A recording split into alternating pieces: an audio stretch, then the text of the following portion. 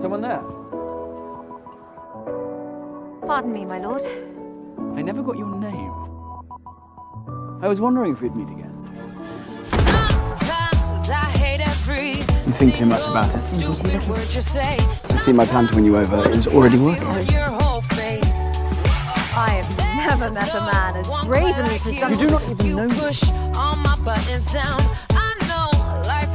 Miss Sharma, may I have this down? You may, my lord.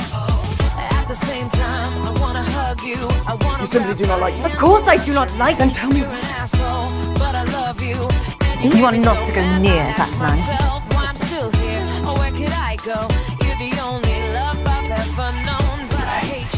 I really hate you So much I think it must be true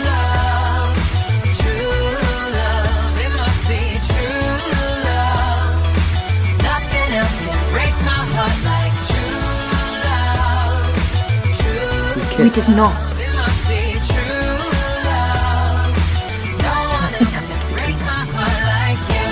The two of you cannot seem to stay away from one another. Because she is aggravating.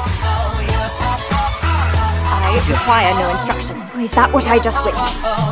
Just once, try to wrap your little brain Because I am a woman? No, no.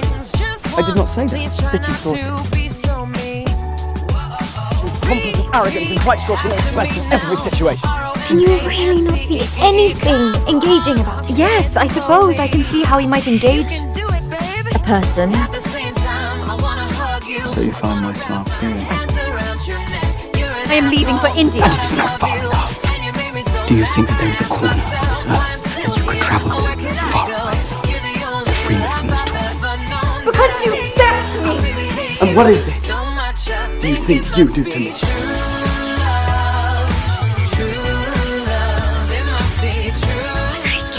That?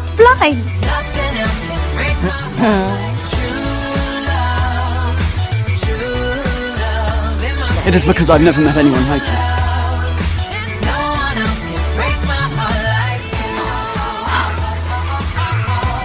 I love you.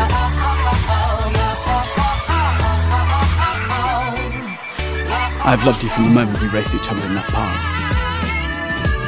I've loved you at every dance. Just keep walk, every time we've been together, and every time we've been apart.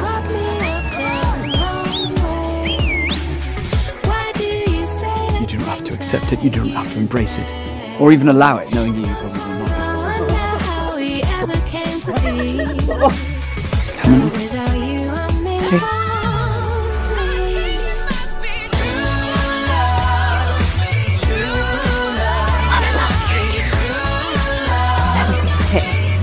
But you do not vex me.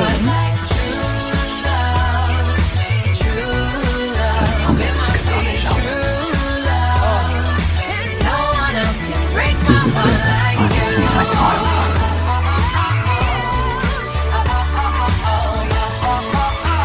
So we'll take this opportunity to return upstairs.